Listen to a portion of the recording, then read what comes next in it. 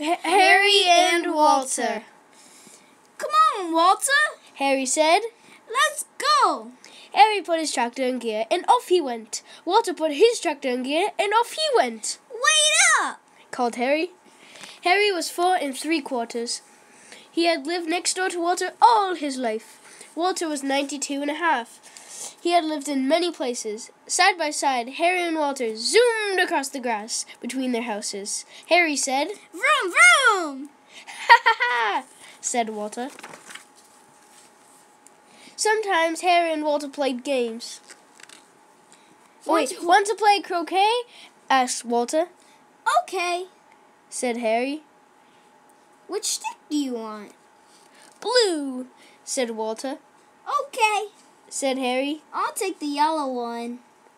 Harry and Walter hit all the colored balls through every hoop. Then Harry said, Walter, do your tomato plants have tomatoes yet? Let's go see. Harry ran to Walter's garden. Tomatoes! He shouted. Catching up with Harry, Walter said, But they're still green. When the tomatoes turned red, Harry and Walter each ate one. Right there in Walter's garden, the juice dribbled down their chins. When the leaves on the trees turned yellow and fell, Harry and Walter raked them into piles between their houses. Winter came and snow fell. Walter cleared a path from his house to Harry's so they could still visit every day. And Walter did dig- jigsaw puzzles and played board games. They drew pictures for each other of tractors and tomatoes in piles of leaves, You draw real good, Walter. said Harry. Walter said, You draw well too, Harry. And if you keep it at it, you'll get even better. Harry showed Walter how to turn a car into a robot and march it across the floor. Walter showed Harry how to turn into a piece of paper into a bird and make it soar through the air, This is hard. said Harry. I can't do it. Keep trying, Walter said. You'll get it, I know you will. One day, when it wasn't too cold for the young boys and old men, Harry and Walter made a snowman. Walter, Harry said, you're my best friend. You're my best friend too, Harry. Let's be friends until I'm as old as you, okay? Walter rubbed his chin, thinking. Then he said, I'd like that, Harry. I'd like that very much. When spring came, all the snow melted, and so did the snowman. Someone hammered a sign into the grass in front of Harry's house. For sale, the sign read. Or the sign, oh yeah. Walt, Walter frowned, and Harry cried. I don't want to move. Things change, Walter said. I might, I might have to move someday too.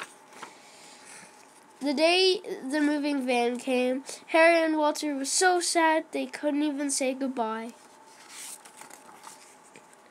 Harry's new house had more grass than the old house. Harry rode his tractor up and down between his house and the next door. Vroom. He said. Vroom. But riding without Walter wasn't much fun. Harry's new house had a vegetable garden in the backyard, but the tomatoes didn't taste as good as Walter's. Harry's new house even had its own tree house.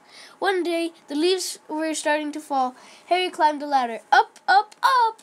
Inside the inside his treehouse, he turned his car into a robot. He turned his pieces of paper into birds, just like Walter had shown him. He flew his paper birds one by one out the window. They fluttered like dead leaves to the ground. But he kept trying to make a better bird. Soon one of his birds did fly a little bit better than the others. Still, Harry missed Walter so much. He was about to toss out his last bird when one of the paper birds flew back up. Harry looked down from his treehouse window. Walter! Harry exclaimed. What are you doing here? I was taking a little walk when I saw your birds. All, all the way from your house to here? Walter pointed to an apartment building up the street. That's where I live now. It was time for me to move too.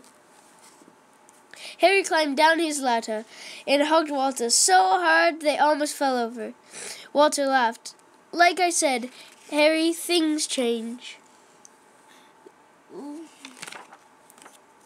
Yes, they do. Oh, Yes, they do. Harry said.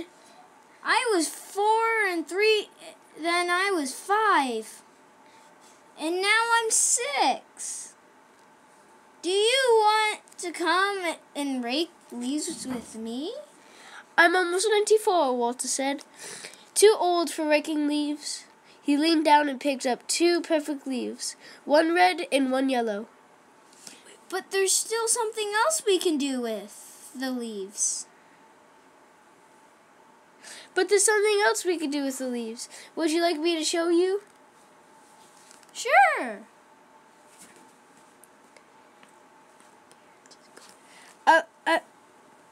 On then, Harry. Let's go.